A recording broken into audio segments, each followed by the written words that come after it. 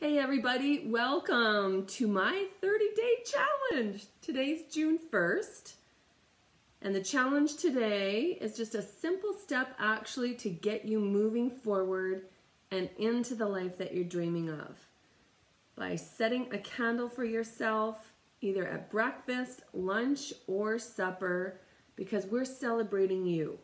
Today is Self Care Saturday each Saturday, we're going to have self care, but every day of the month, we're going to have something for you to do a small step to move you forward and into the life that you're dreaming of. I know it takes a lot sometimes to do something for yourself. You feel that you don't have enough time or it's too much work. So just light a candle at one of your meals today or while you're cooking because we're celebrating you today. Yes, you. So have a fantastic day.